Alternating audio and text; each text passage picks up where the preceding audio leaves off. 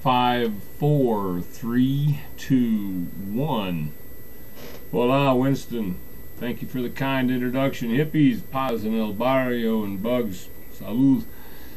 Two years ago this week, the Supreme Court decision in the Citizens United case handed the body politic of the United States over to the tender mercies of the corporates by granting them First Amendment protections and removing restrictions on corporate spending to influence U.S. elections.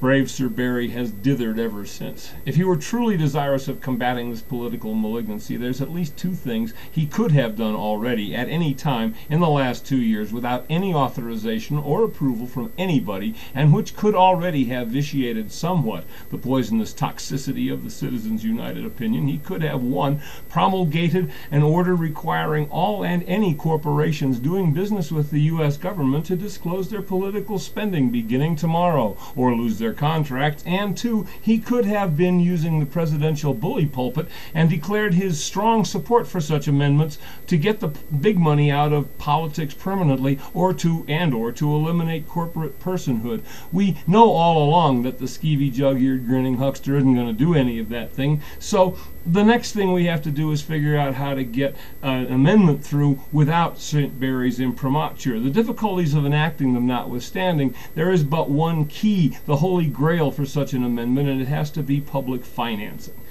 Which is the key virtue of the proposal Dennis Kucinich advanced last week? Of the several amendments in the hopper, Kucinich's seems to be the most the simplest. It forbids private contributions of any kind in federal election. That cuts right to the chase. On another site, somebody complained public financing means officially sanctioned candidates, doesn't it? Well, I don't think so.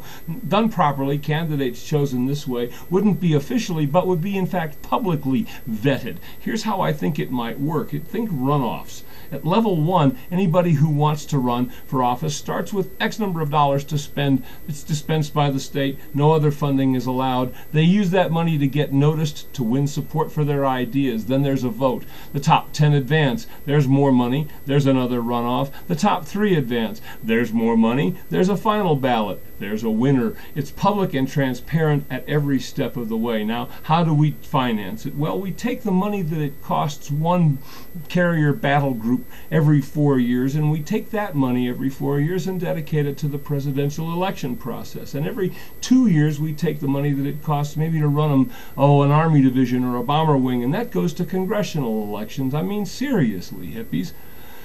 Other than providing for the general welfare and defending the borders, what better purpose is there for our money than the election and selection of the representatives who will write our laws and regulate our lives? We can talk about what you're going to run for when I see you at the beach. Paz, back at you, Windstone.